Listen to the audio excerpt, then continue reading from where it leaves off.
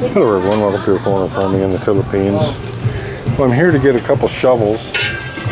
Uh, of course, there's not going to be anything here with a long enough handle for me, but we are out of shovels right now. We've worn them all out. So what I'm trying to figure out is do we want the wider model or the little bit narrower one? And I can, I know, let me see. What's the price on this one? 420 pesos. What's the price on this bad boy?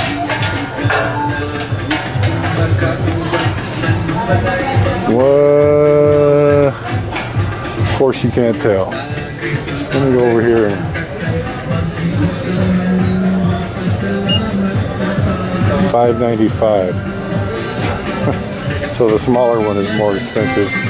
What I also want to check is the thickness. Because that's what that's how our other shovels failed was they even though we we yes we did break the handles out of almost all of them they failed because they just got so thin and these are about the same so I'm gonna get the cheaper one which is also wider and I'm gonna get this one so easy way to blow a thousand pesos on shovels one steel and one's wood where did what's her name go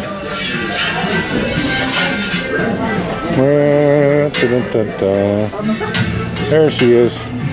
All right, are we finished, love? They don't have a lamp here? Yeah, only this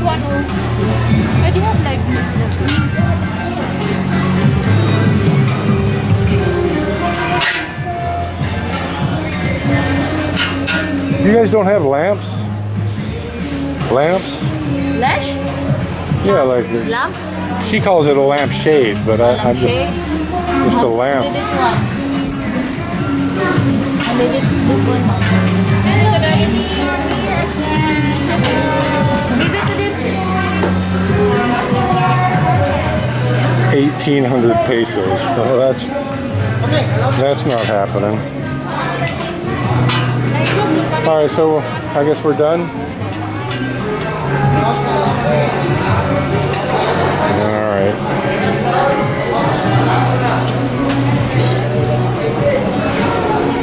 And for those of you who are curious, this is what passes for insulation here. I've never seen fiberglass insulation or the spray and foam. I have seen the spray and foam because they, they use it here, but I've never seen fiberglass. What, love?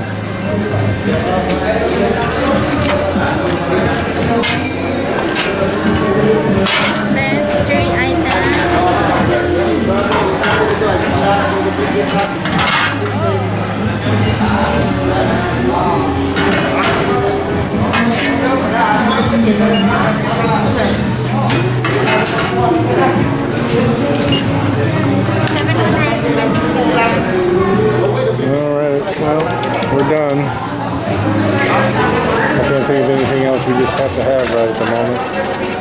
Thank you, everyone. Please like, comment, share, and subscribe.